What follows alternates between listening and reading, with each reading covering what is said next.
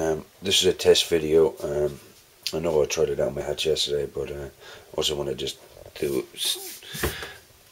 do some shots of some of my builds. Um, this is the HMS Illustrious that I did um, along with Dan Richardson, Trojan Art Painting. So I just wanted to do see what it looks like on this camera. So see how close I can get. I love his camera. Look at it.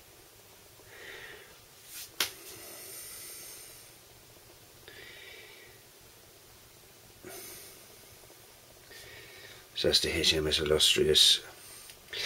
Okay, this is my group build for um, my kit for the group build for uh, our Secret Santa with Darren Shanks. Um, this I got from Scale Model Alberta in a prize competition. This is the actual one I got from my Secret Santa, but it's just not kit build, so I'm going to use that for the world famous The Mad Modelers um, build.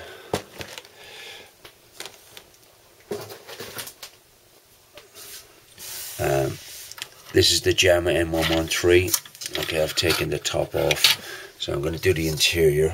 Um, Mark convinced me to because uh, says we have loads of time, no need to rush it. So I'm going to do the interior. Sits there, this is movable. So you want to see how close I can get to the interior. Um, I do have a proper stand, so I'm going to get me stand out my shade. I say this is just a test video, just seeing, you know, how close I can get. Um, there's the Viking ship again, but uh, I'm going to get a proper shot of it and explain. This is a, a stylized 13th Warrior. Um, so it's not the 13th Warrior, obviously, because they wouldn't have shields and spears and flags on the uh, ship. Um, made me this figure here. Um, try and get in there because the the um, the camera is not really doing it justice. This is another figure I started. He's going to be like the head honcho. Where am I? Oh dear, I'm in the wrong place. So I'm going to have him as the head honcho. Now he is 28 mil, but he's bulkier than the other ones, and so he's going to go there. Right. If I turn around this way, um, I've got some of these figures here. So I have them holding, pulling the ropes down, leaning the ropes, and I got your man on the tiller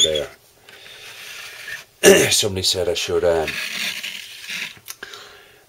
do a wash on this. I already tried a wash on this. And let me explain.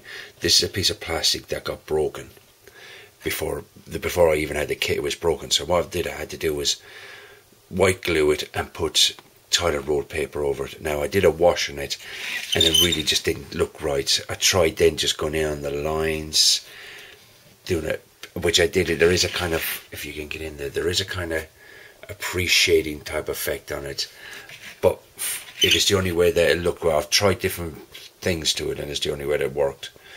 So I'm gonna just show you properly like this. So, and then this here is for Idig Bear's um, build. I was hoping to get these glued on tonight, but uh, I got in late, and then everything just caught up with me. Um, but I will be gluing them and painting them and getting them ready. Thank you very much for watching my test video.